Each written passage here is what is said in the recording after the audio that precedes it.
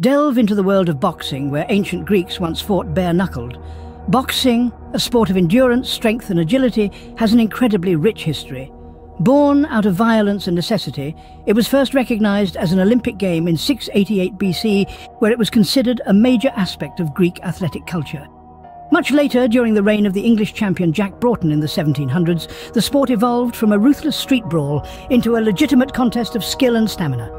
Then came James Figg, who is often hailed as the father of modern boxing. Under his influence, the sport moved from bare-knuckled and somewhat chaotic fights to more organised bouts with rules. From Figg's time, boxing continued to evolve, consistently gaining popularity. Great champions like Joe Louis, Muhammad Ali and Floyd Mayweather Jr. marked their eras with enormous victories and indelible styles. Boxing not only became a sport, but also a platform for these icons to express their personalities and beliefs. It's not just the physicality that captures the audience's attention, but the underlying strategies, the skillful footwork, the tactical defence, and the art of throwing the perfect punch. Unearth the sport's true essence.